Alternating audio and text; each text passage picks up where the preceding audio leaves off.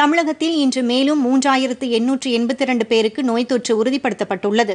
இதன் மூலம் பாதிக்கப்பட்டோர் மொத்த எண்ணிக்கை தொன்னூற்று நான்காயிரத்து நாற்பத்தொன்பதாக அதிகரித்துள்ளது என்று மாநில மக்கள் நல்வாழ்வுத்துறை வெளியிட்டுள்ள அறிக்கையில் தெரிவிக்கப்பட்டுள்ளது. சென்னையில் மட்டும் இன்று இரண்டாயிரத்து நூற்று எண்பத்தி இரண்டு பேருக்கு தொற்று உறுதி செய்யப்பட்டுள்ளதாக குறிப்பிடப்பட்டுள்ளது. இதனிடையே இன்று இரண்டாயிரத்து எண்ணூற்று ஐம்பத்தி இரண்டு பேர் குணமடைந்து வீடு திரும்பியிருப்பதாகவும் குணமடைந்தவர்களின் மொத்த எண்ணிக்கை ஐம்பத்தி இரண்டாயிரத்து தொள்ளாயிரத்து இருபத்தி ஆறாக அதிகரித்துள்ளது என்றும் மக்கள் நல்வாழ்வுத்துறை வெளியிட்டுள்ள அறிக்கையில் கூறப்பட்டுள்ளது. குணமடைந்தவர்கள் நீங்களாக தற்போது முப்பத்தொன்பதாயிரத்து எண்ணூற்று ஐம்பத்தாறு பேர் சிகிச்சை பெற்று வருவதாகவும் அந்த அறிக்கையில் தெரிவிக்கப்பட்டுள்ளது. செங்கல்பட்டு மாவட்டத்தில் இருநூற்று இருபத்தாறு பேருக்கும் மதுரை மாவட்டத்தில் இருநூற்று தொன்னூற்றி ஏழு பேருக்கும் திருவள்ளூர் மாவட்டத்தில் நூற்று நாற்பத்தி ஏழு பேருக்கும் தொற்று உறுதி செய்யப்பட்டுள்ளதாக குறிப்பிடப்பட்டுள்ளது.